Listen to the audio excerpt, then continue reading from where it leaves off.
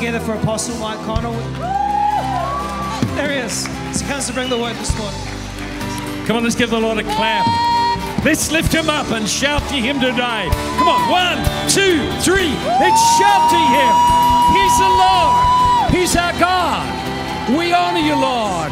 We welcome your Holy Spirit to come. Give revelation to our hearts of the reality of Jesus. Make his presence manifest. Let miracles flow. Let people's lives be touched. Flow out today in our midst. Holy Spirit, the heavens be open over us. We want to know Jesus. Lord, we honor you and welcome you. Touch us here today. Touch those watching on the internet. Lord, we welcome you.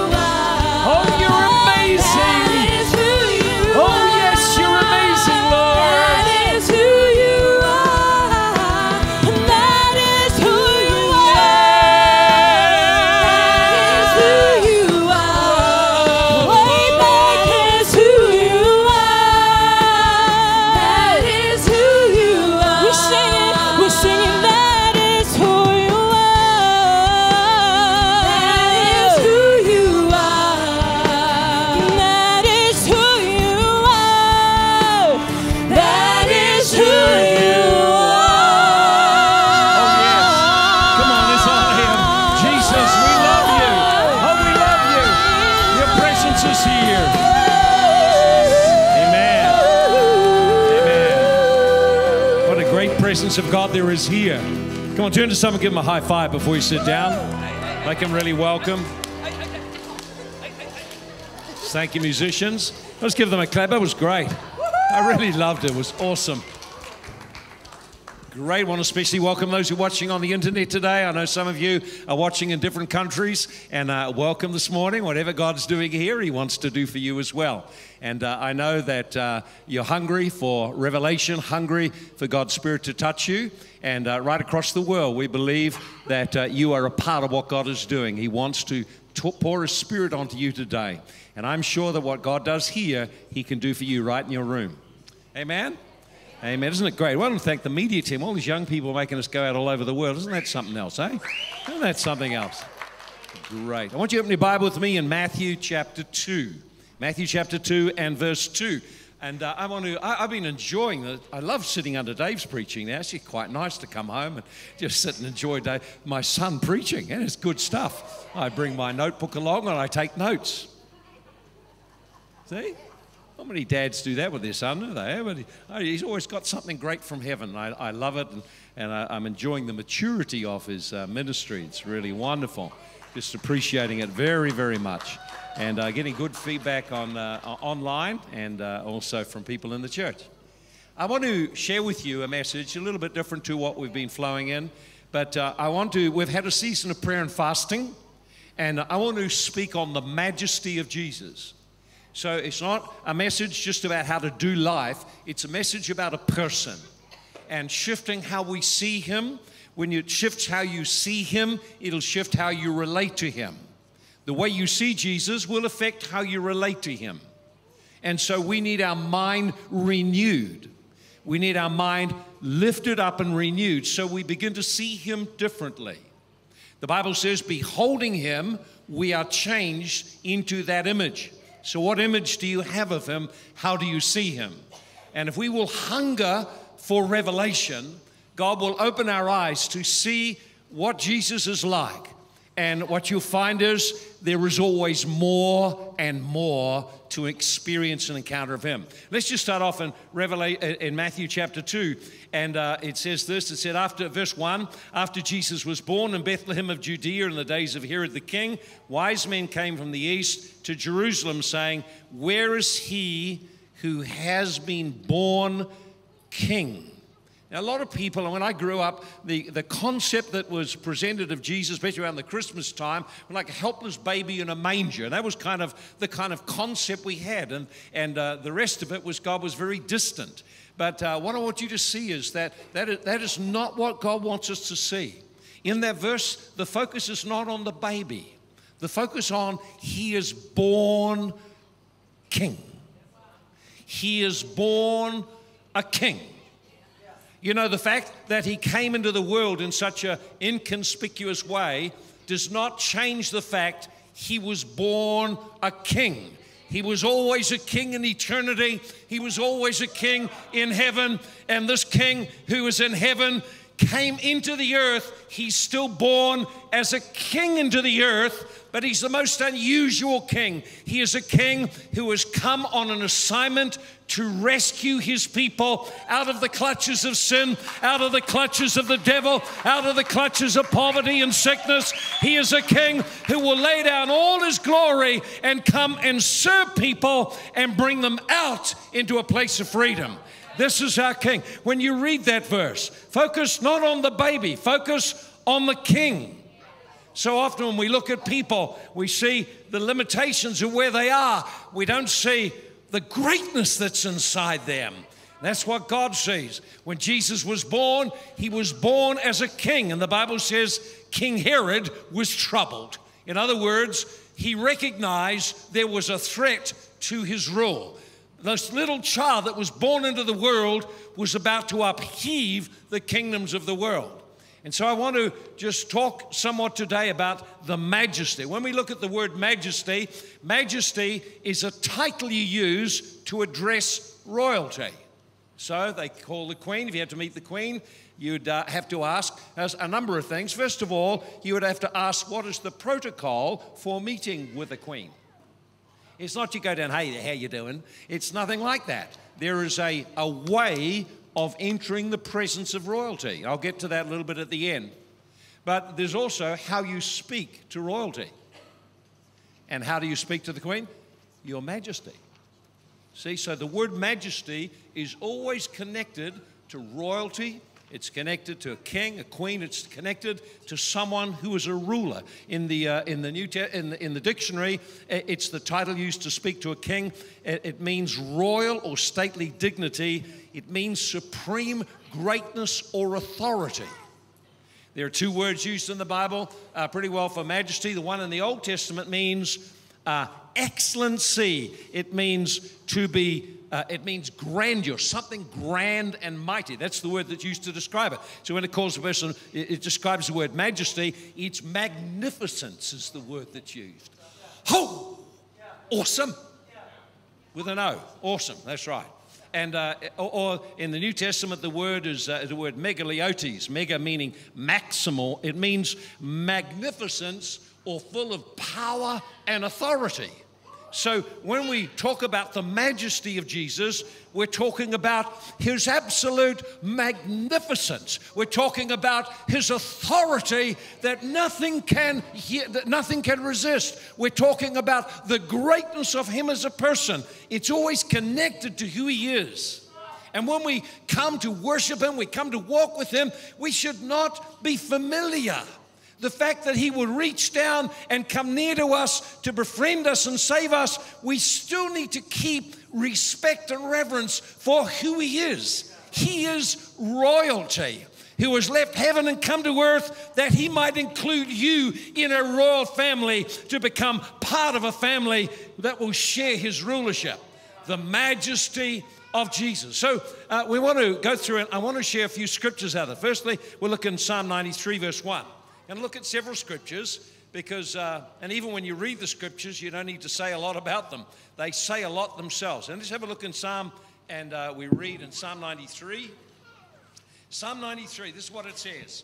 It says of Jesus, or it says of God. Notice what it tells us. It says, The Lord reigns.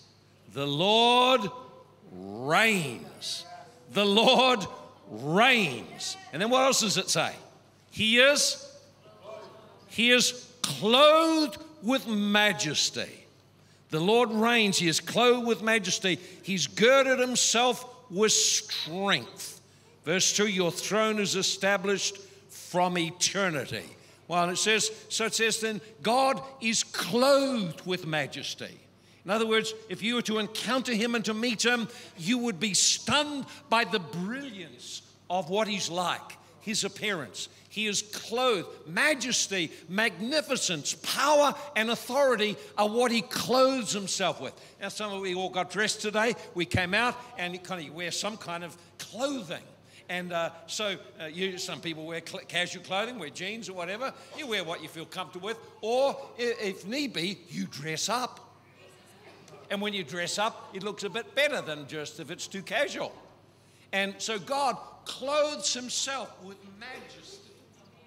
In other words, if we were to encounter him, the brilliance of how he is would overwhelm us. Bible says that if you were to stand in his presence to see him, it would overwhelm you. You could not live to see his presence. That's why God uh, hid Moses when he showed him and revealed to him what he's like showed his majesty, showed his glory. And Psalm 104, verse 1. Psalm 104 and verse 1. Look what it says here. It says, Bless the Lord, O my soul. Why?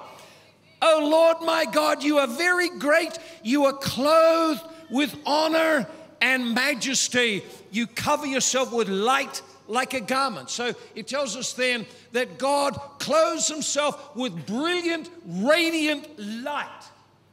So if we were to encounter him, we would encounter the brilliance of his life. His majesty would come and touch us deeply.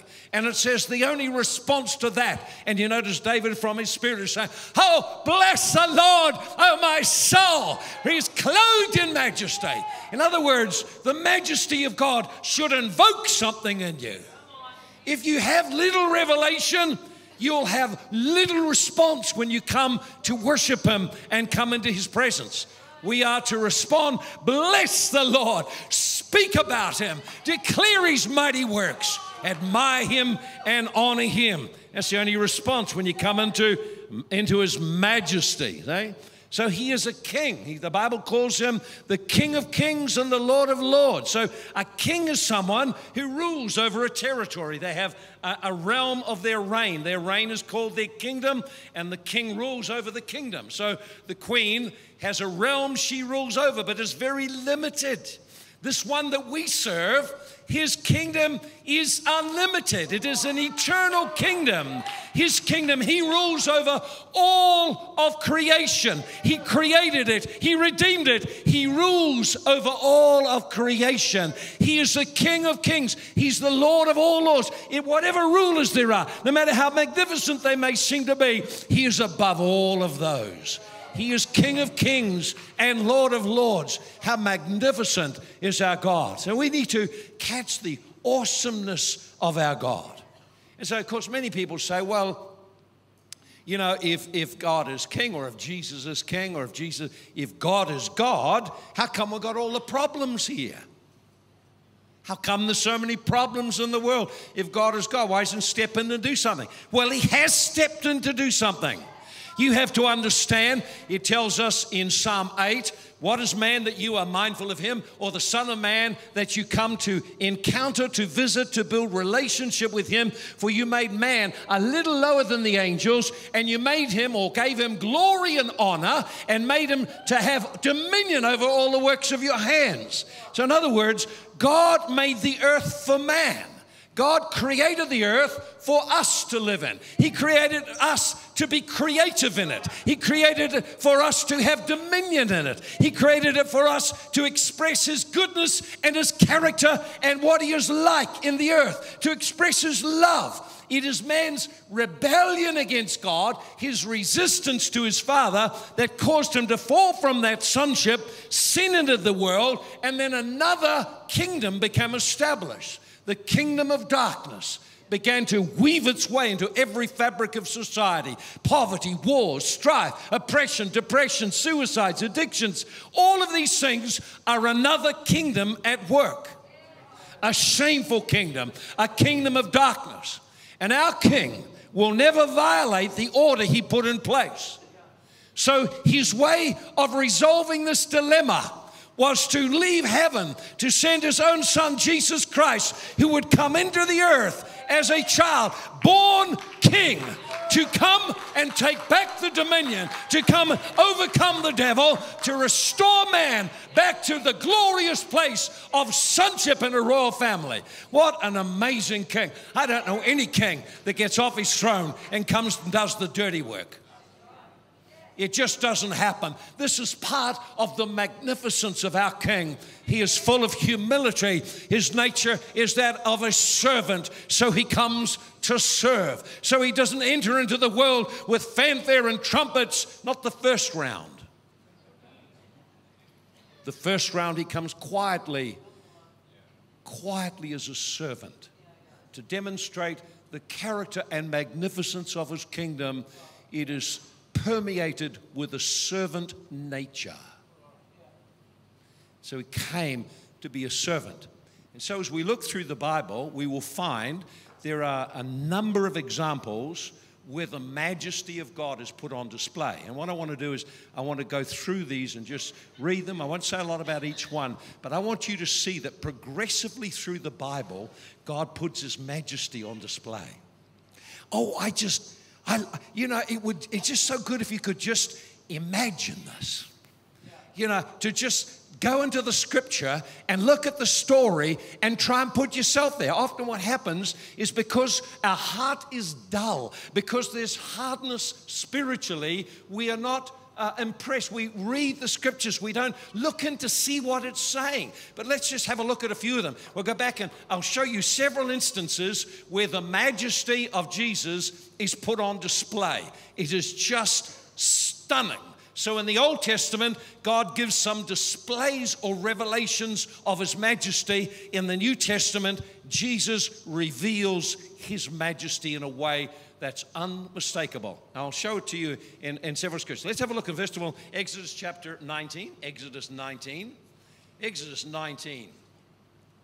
And uh, this is concerning the people of God. And this is the encounter at Mount Sinai. Encounter at Mount Sinai. And so we read down there. Let's see if I can find it now. Around about. Ah,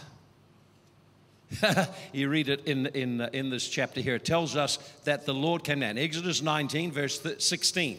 Now it came to pass on the third day in the morning. There were thunders and lightnings and a thick cloud on the mountain, and the sound of a trumpet very loud. In fact, so loud, millions of people trembled. And Moses brought the people out of the camp to meet what? To meet with God. And Mount Sinai was completely covered or completely in smoke because the Lord descended upon it in fire. And its smoke ascended like the smoke of a furnace, and the whole mountain quaked greatly. And when the blast of the trumpet sounded long and became louder and louder, Moses spoke and the Lord answered him. Now, you just got to read that over and over a few times. You got to meditate on that. I mean, you, have seen a bit of cloud maybe up Tomato Peak, and nothing compared to this. I mean, they came there, and this is their encounter with God. And He's not some ordinary God when God comes down on the earth. This is the kingdom of heaven visiting the earth. And it said, a cloud came, and then there were mighty crashing thunderings. There were flashes of lightning, and then there was a great earthquake. The whole mountain shook. Well, you know, some people get a little weak, kind of little quake, and they're all excited about it. You know, the white swing a little bit. This is well beyond that. And then not only that, because kings come, there's usually an announcement. And so there's a mighty trumpet sounds. This trumpet sounds, and it gets so loud that people begin to shake with fear because there's no one that they can see. This is our majestic God arriving. Surrounded by angels, it tells us in the Psalms, chariots of angels. This is the God we serve. And his invitation is to Moses come we're going to talk together. What kind of God is that? Man, oh man. Oh, I'm excited. I just love to see someone do do. I loved it. Years ago, we saw the Ten Commandments. We saw this. Saw Charlton Heston go up on the up on the mountain. It was great. I loved it. I loved all of those movies because they just fire up your imagination. And and when when Moses when Moses came up, the, the Lord spoke to him. He said, "I'm going to show you who I am. I'm going to reveal my name to you." And he said, But uh, it'll blow you away, so I've got to cover you up a little bit and just see the back part of me. And then this is who I am I am the Lord, the Lord God. I'm the eternal, invisible, almighty God who is all powerful. That's who I am. That's his majesty. So you would expect when God arrives, there will be a show. You know, I mean, if the President of the United States arrived, man, you'd see all these cars, black cars, black big vehicles, SUVs, and security people everywhere. You would all know he'd arrived. Even some of the rich people I meet in Taiwan they find it hard to go to church because they've got so many guards and various people around them. If they arrive, you all know someone important arrived. So it's like, but when God arrives, that's what makes Jesus coming the first time so stunning. It's not what you'd expect. So we have a look down, just go down into Exodus chapter 24. Exodus 24. And God does it again. Exodus 24. Let's see if we can find it again. And uh, so now we look in verse 16. It says, And the glory of the Lord, or the majesty of the Lord, rested on Mount Sinai and covered it for six days. And what did it look like? The sight of the glory of the Lord or his majesty was like a consuming fire on the top of the mountain. Can you imagine if you, I mean, there's a little bit of smoke comes up there on Tomato Peak and everyone gets upset. They're working up there with the fire brigade, put it all out. But this is a whole mountain and it's on fire and it's burning. There is a glory fire and God is in the midst of it. His presence is so magnificent that he is surrounded by the fire because it would overwhelm everyone. And it was there for six days. Imagine that six days. You look up, whoa, that thing's lighting up the sky. Man, oh man, what a, what a display of the majesty of God. And, there's, and you could go and meditate on each of these things is God revealing something about himself. Let's have a look in Isaiah 6, Isaiah chapter 6 you find Isaiah also saw it. He got it by way of vision. They saw it with their physical eyes. Isaiah got it and he got it by way of a vision. Look at this. In the year King Uzziah died, Isaiah 6 and verse 1. Year King Uzziah died. Isaiah, uh, uh, King Uzziah was characterized by pride. Started well, finished bad. Pride got in his heart. And this is what he said. He had a vision. Isaiah had a vision. Of course, we look at these visions in the Old Testament, they don't make a lot of sense when you, and people try to figure it out. But he's seeing in the Spirit. God has opened his eyes to look into the realm of the Spirit. Don't you hunger that God would open your eyes, that you would see into heaven something of the majesty? This is what he saw. This is what he saw. He said his eyes were open. He said, I saw the Lord. So, what was the Lord doing? He was sitting on a throne. Throne is a place of governance and rulership. The throne he saw was the throne of God, a throne of mercy and truth, of righteousness and judgment. He saw the Lord sitting on a throne, high and lifted up. And above the throne there were seraphim, each with six wings, and with two he did cover his eyes. It's so magnificent. With two he did cover his feet, with two he did fly. See, this is, you see what Isaiah's trying to say? He's trying to use words to describe the majesty of Jesus. Magnificent. And then he said, he said, I heard the Lord speak and say, Who will go for us? Who shall we send? So, encounters with the majesty of God, encounters with the glory of God are designed to shift us. The first thing that happened was his awareness of need for cleansing, and God came and cleansed him with the angel. The second was he caught the heart of God, the passion of God to rescue people that he loves. He heard the heart of the king. Who will go for us? Who will we send? Well, it's interesting, the ones he sends are the ones who've had encounters with him personally, who have let him come to bring cleansing to them and have said, Here am I, I'm willing, send me. And God has not changed one little bit. He's still the same. He still wants to bring you into a powerful encounter with Him. And in that encounter, you'll find usually you weep and weep and weep. And then you become aware of things and you start to repent and repent. And then you catch His heart, the heart who wants of a king who wants to save and deliver other people. You see, when the church neglects the majesty and the glory and the goodness of who God is, we become dull. We become tolerant of stuff we should not be tolerant of. We, we become neglectful of the heart of God and the, the mission to reach our community, to touch people who don't know our God, who are living in bondage. If you're near to God, you'll hear His heart. It's not just to bless you, it's to commission you to represent Him. God is still looking for people He can commission to represent Him. Are you one of them? A fresh encounter with God shifts our willingness. See, notice the vision. The Lord sitting on a throne, high and lifted up. I meditate on that and pray that frequently in my prayer life, that I might catch glimpses of that. Have a look at another one in Revelations chapter 4. Revelations chapter 4, and this is uh, um, John, Apostle John on the Isle of Patmos and he's obviously in prayer. He says, After these things, verse 1, I looked and behold, a door opened in heaven. And the first voice I heard was like a trumpet saying, Come up here, I'll show you things to come. Now, here, someone else is getting a glimpse of the majesty of Jesus. What does he see? Man, it's just, see, people look and they just, uh, we need to be impressed with God. impressed with who is. Look what he saw. It said, he said, immediately I was in the spirit and I saw a throne set in heaven. Same thing Isaiah saw. And one who sat on the throne. Now he's got trouble giving words.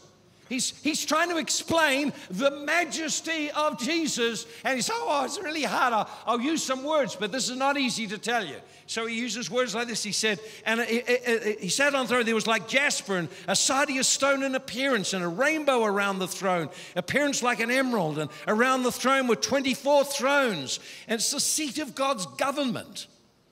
And on the thrones, the 24 elders sitting clothed with white robes and crowns of gold. And from the throne, from the throne, now, think what we just read about uh, Moses when he was on the mountain. What was on the mountain?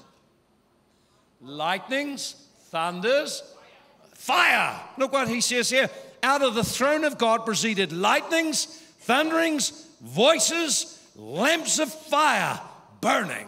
See, he's had an encounter with the heavenly reality. See, what Moses saw was the throne of God come down onto the top of the mountain, but because it was too much, God covered it so you couldn't see it, but it was there. Same things thunders, lightnings. This is our God, powerful, powerful. And The Old Testament said, Our Lord God. You are the Lord, you're the Lord God. There is nothing too hard for you. This is the God who's your God.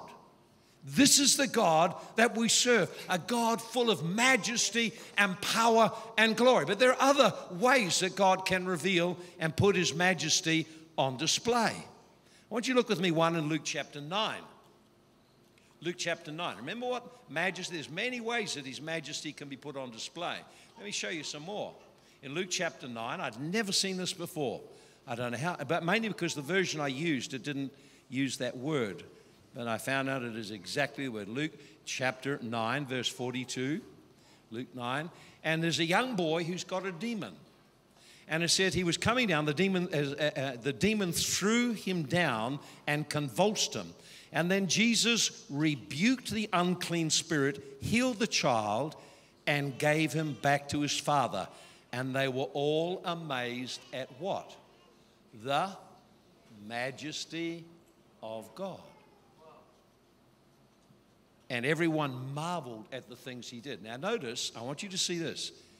One, remember the word majesty means magnificence, the great authority, the great power. One way his majesty is revealed is when people are delivered of tormenting spirits. Why is that? Because the magnificent kingdom of God is overcoming the kingdom of darkness and publicly humiliating the demons.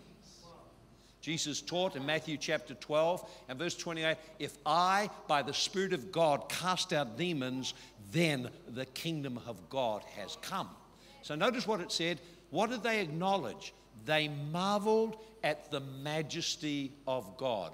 Every time miracles are done, the majesty of God is seen. See, if we want the majesty of God to manifest, we must press in for miracles to take place. Miracles are a, a, a, public display of the majesty, the magnificence, the power, the authority of God. When the church fails to operate in deliverance or belief for miracles, it is dishonoring God because it's not allowing His majesty to be put on display. God designed us and commissioned us that we would not only have relationship with Him, we would represent Him and we would put His majesty on display. It doesn't matter where you are, you are called to reveal the majesty, the authority, the power of our God that's above the natural circumstances. And you've got your own unique calling, your own unique place this works out, but every believer is called to work the works of God. So, what else did Jesus do that displayed his majesty? His supreme authority, his magnificence. Here's other things that he did. He turned water into wine. Whoa. In other words, he demonstrated that even the substance of the physical world is subject to the authority he carries. He caused the loaves and fishes to multiply, indicating that he is unlimited in his resources. He can do creative miracles that cause a little to become much. That's the majesty of God. Every time you believe and He causes your little to become much, the majesty of God is being revealed, one aspect of it. When Jesus walked on the, on the waters, He was demonstrating the majesty of God, His power over creation. When he got in the boat, the boat immediately arrived at its destination. In other words, it was just shifted in space and time. Suddenly it's there at its, a, a place it's called. He demonstrated he is a God who has power over time and matter. He is unlimited. So every time Jesus did a miracle, his majesty was on display. We want the majesty of God. We need to press in to encounter Him and for the miracles to take place. He found dead people. Now, one knows dead person once they're dead, unless you got, unless you got our friend around there to help and resuscitate you and pull you back. Break four ribs on the way. My, my, my, my. I wonder was he happy when he woke up. He probably thought, I wonder what's happened to me. I must have had a drunk fight or something. no, but listen, there's a young girl and she's dead. Jesus raised her from the dead. There's a young man and he's dead. Jesus raised him from the dead. Then, just to cap it off, there's Lazarus who's not just dead, he's been rotting for four days and is a goner completely. And God recreates and brings back that body and brings him back to life. This is the majesty of God on display. Who would not want to see more of his majesty?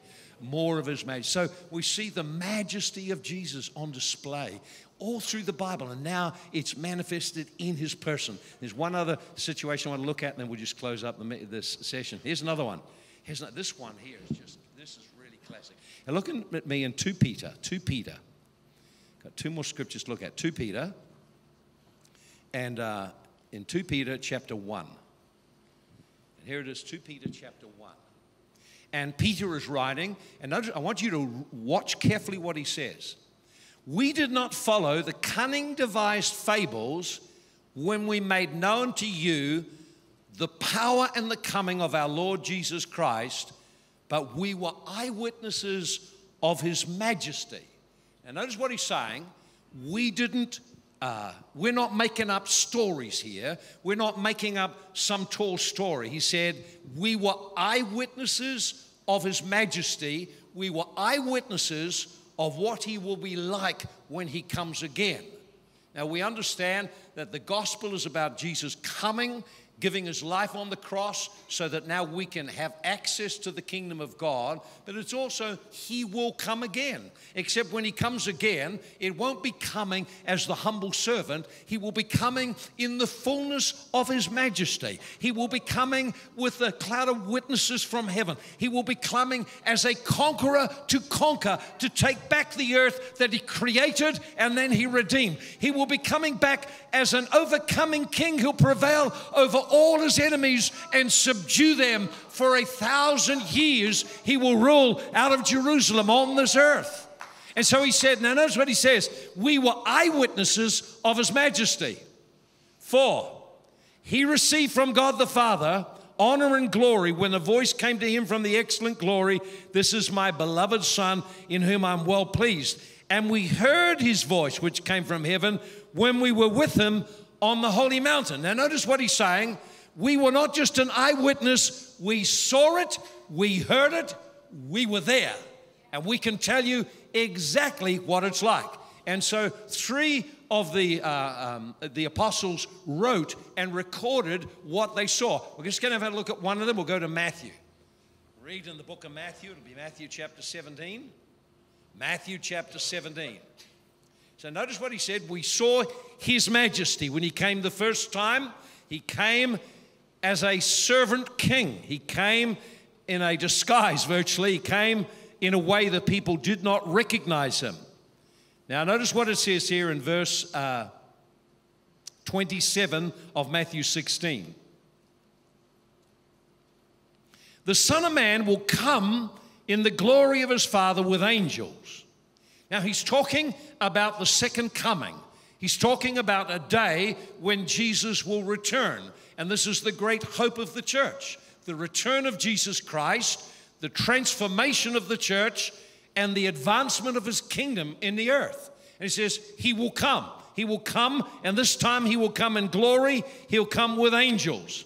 And that is what he says, and he will reward each one according to his works. In other words, the life you are living now either qualifies or disqualifies you from being rewarded. If you've come to Christ, you are positioned in the kingdom, and you're positioned as a child under tutorage of the Holy Spirit and ministries that you might grow and become mature and represent your Father in heaven. And He who is watching all of your works will evaluate what you have done with your life. Have you fulfilled the destiny He put you on this earth for? Have you operated out of the heart and spirit of the Father to accurately represent Him? That's what He's looking for. He will reward. That word is like paying the laborer. It's like there is something He has prepared for those who love Him. And if you love Him, you walk with Him and keep His commandments. You practice walking in love. You practice loving the people you can see. Not just talking about how much you love God you don't see. That's what it says then. And it says then, Assuredly, I tell you, some of you standing here will not taste death till they see the Son of Man coming in his kingdom. So now, what he's saying is, there is a day when he will come. And we're to live prepared as if that day was today but plan like it was not in our lifetime. You understand? We're to plan to live out our life and leave a legacy, but in terms of our character and our personal relationship with God, we're to live as though His coming is imminent. We're to prepare ourselves. Many of the parables were about preparing yourself. Church, on the whole, is not concerned about preparing itself because there's little understanding of what would be at stake and it says, and then he goes on and he tells exactly what happened. Some of you will see it. Now, we read that John was one of them, and here it is here. Now, after six days, Jesus took Peter, James, and John, his brother, and led them up on a high mountain by themselves. He was transfigured before them. His face shone like the sun, his clothes become white as light. Verse 5 While he was speaking, a bright cloud overshadowed them. That's the glory cloud and a voice from heaven saying, This is my beloved Son in whom I'm well pleased. Hear him. Now, notice Jesus has given three of the disciples a glimpse of the majesty of his coming again. When he comes again, it will not be a child in a manger in the Middle East. He will come in great glory and majesty. He will be seen for who he is. And they saw it, they said, when the, as he prayed, the Bible says in Mark, it says he prayed. As he prayed, it says this, he began to change. That word transfigure is completely changed. So the body began to change, and from within his spirit, where the Spirit of God dwelt, there started to shine forth light. It says that word, it says his face shone. That word means literally to give out rays of light because of the glory that was in him. It was so intense, all his garments began to shine white. They had an encounter with the majesty of Jesus. They were stunned. They didn't know what to do. The only thing they could think of doing when they saw his majesty, well, we just want to stay here. We just want to stay in that place. He said, No, we've got to come down. I have yet to go to the cross and to commission people to go into the earth and reveal my majesty. We need to see this theme through Scripture the majesty, the great glory of our God, and let it touch and transform our heart. I can feel His presence here strongly. How do we respond? How do we respond? You, you got there's got to be a response. In many ways, we can respond. Look what it says in Psalm 96. It says in Psalm 96, it tells us in verse, honor and majesty are before him, strength and beauty are in his sanctuary. Give to the Lord glory and strength. Give to the Lord glory to his name. Bring an offering, come into his courts, worship the Lord in the beauty of holiness, and tremble before him, all the earth.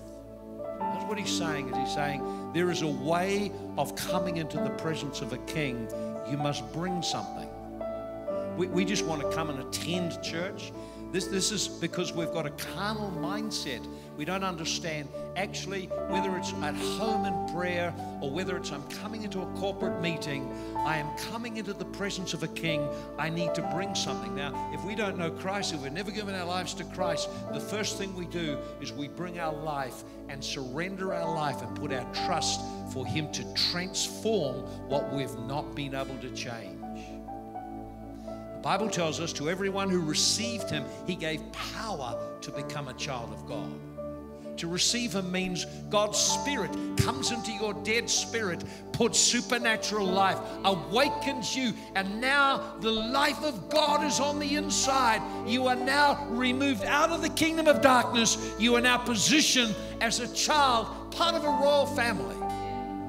And we are then to grow and mature to represent our Father if we're a believer, whenever you come into the presence of the Lord, always come with something. In Psalms 95, he says, I will bless the Lord. I will bless him. I will praise him. The Bible says, Come into his presence. Come in with thanksgiving. Come into his gates with praise. Come give him an offering. Whether it's a financial offering or it's the fruit of your lips, never come empty. If you go to kings, you bring a gift. When I go before great people, I bring a gift. It's not the size of your gift, it's the honor. Yeah. It's the honor. We're honoring the stature of the person. So when we come, don't take him for granted. Don't take all this for granted. Come, there's Jesus, full of majesty, and I'm coming to encounter him. It requires a response. What does he want? He wants worshipers. He wants people who worship Him. He wants people who will encounter Him. He will wants people who will align with Him. He wants people who will represent Him. He wants to commission you. All of that comes out of the place of worship and engaging the majesty of God. I just read one scripture, then let's. I want us to stand, begin to worship the Lord. Psalm 145. That's what it says in verse 10. All your works shall praise you, O Lord. and your saints will bless you. They shall speak of the glory of your kingdom and talk about your power and make known to the sons of men, let's testify, the mighty acts and the glorious majesty of his kingdom. For your kingdom is an everlasting kingdom. Your dominion endures through all generations. The Lord upholds all who fall and raises up those who are bowed down. The eyes of all look expectantly to you. I want to challenge you to draw near to God, to start to hunger to have revelation of His majesty, to search the scripture. There's things you can do simply. Take one of those scriptures, read it until you've learned it, and as you pray, begin to meditate on the majesty of our God. Talk about it, speak to Him about it, tell others about it, testify about it, and surrender your life that you could carry some of that majesty into our community where you are. All your works will praise you. I can feel His presence here. Why don't we just stand? When we when we come to worship and come into His presence, when we encounter Him, our body posture reveals what's in our heart. Sometimes in yelling and dancing and clapping and praying strong in the Spirit. But as we encounter His presence, before His majesty. Probably you haven't talked to Jesus that way and bowed. Your majesty, my King, my coming King, I surrender to you. His presence is here. If there's anyone here today and you're not a Christian and you want to receive Jesus Christ, I will lead you in a simple prayer to receive Jesus. Bring your life to Him. Present yourself to Him. You've done what you can with it, but you realize still there's an emptiness and a brokenness.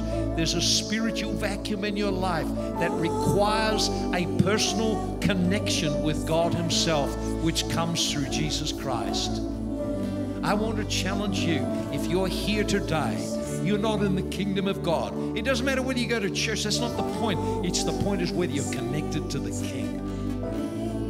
If you're not connected to Jesus Christ, never made a commitment publicly to come and surrender to Him and give your allegiance to Him, to serve Him as your true King, then I invite you as we sing to make your way to the front and come here right now. Come, make your way right now. Come on, church, let's begin to sing. If there's anyone here wanting to give your life to Jesus, please make your way out of the seat. Make your way to the front. I will lead you in a prayer to receive Jesus Christ. It's a turning point in your life. Please make your way. Just come. Come to the front right now. Come make your way to the front. Church, let's worship Jesus. Their crowns before the Lamb. Come on, I can't hear it. Of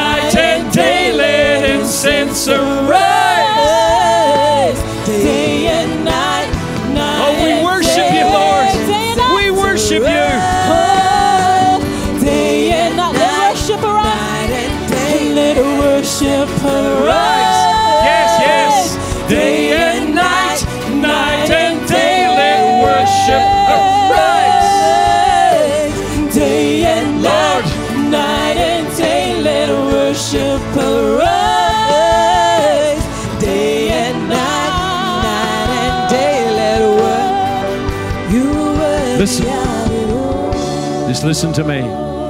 There's people here, God wants to deliver you. There's some here you're oppressed with fear. You're having panic attacks and troubles with anxiety.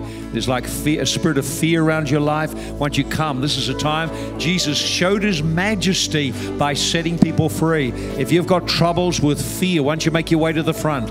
If you're a person who's struggling with sleeplessness, make your way to the front. God wants to deliver you from that issue that's causing you to lose sleep, lack sleep, be troubled at night. If, if you're troubled with nightmares, God wants to deliver you and set you free. Whatever's there, come. Let's come. Make our way right to the front. Let's come. Whatever it is, whatever it is. There's other people need a healing in your body. When Jesus healed people, He demonstrated His majesty. We're going to carry out. We're going to worship the Lord. I want you just to stand at the front, wherever you are. Come right forward, so there's room for others to come. And I want you to worship Him.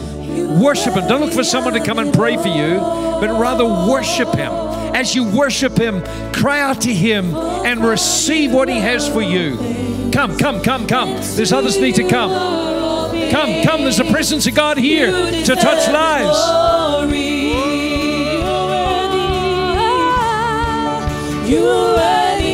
you. Come, there's others here need to come. Come, make your way to the front. You worthy of it all.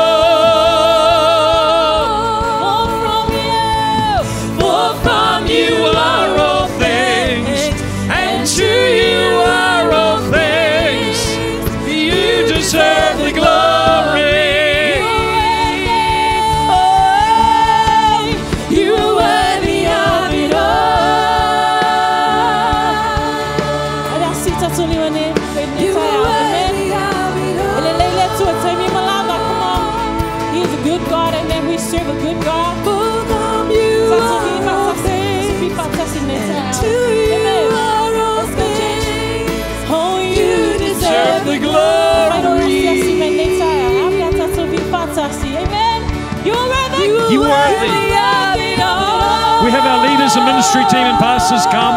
Get ready to lay hands on people. Down the back, come. of it all. For from you are all things, And to you are all things. You deserve the glory. Just flowing it quietly now. And churches, close your eyes. If you have to get away for children, do that. But let's just stay in that atmosphere of worship. His presence is here. God is here. His presence is here. You know, when His presence is here, we just need to extend our faith and believe right now we can be touched. Right now, wherever you are, even if you're in your seat, reach out to Him. Maybe you want to bow your head. I frequently, when I come into His presence and engage His majesty, I, I'll just put my hand over my heart and bow my head. I'm in the presence of a sovereign King. Your Majesty, You're my King. I honor you. I honor you. And musicians, just keep flowing in it, keep the atmosphere there. Ministry team, just come and just lay hands on people. Uh, you don't need to ask lots of details and questions. It's just about an impartation. If you're standing there and you're needing ministry of some kind, just receive.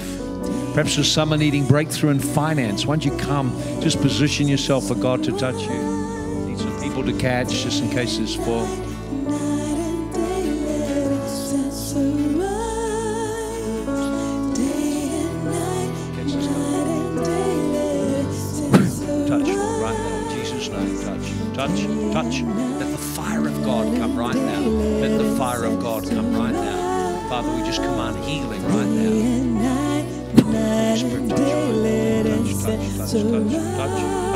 Touch, touch, touch, touch, touch, Holy Ghost right now. Thank you, Lord. Touch, touch, touch, touch, touch, touch. Touch, Holy Ghost.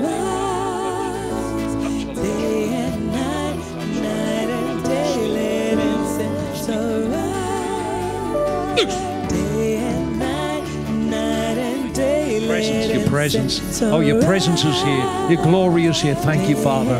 Thank you, Lord. Your presence is here. Thank you, Lord. Thank you, Lord. All that burden just lifting off you right now. God's restoring joy, restoring the prophetic. Father, touch him right now. Father, every heaviness, we break all heaviness right now. Father, I release blessing over Adam now.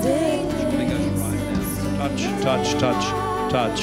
Day and night, night and day, let incense presence of God. There's an amazing presence of God here. Touch, touch, touch, touch. Minister, Lord. Minister, minister, minister. Pour out your life right now. Holy Ghost, come. Oh, thank you, Lord. Thank you, Lord. The presence of God is here. The presence of God touching you.